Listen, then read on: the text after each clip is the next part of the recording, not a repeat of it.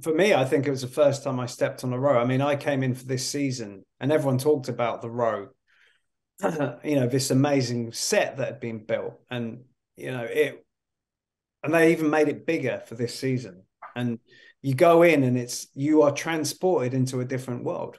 It's unbelievable, and you have like hundreds of extras dressed up as pucks and fairies. And I think the first time we did the scene where we walk onto the row and they had the whole row dressed and all the extras were in it. It was the first time you were seeing what the row had turned into since they were put there by uh, by the humans, and it was unbelievable. It was a moment I'd never never forget.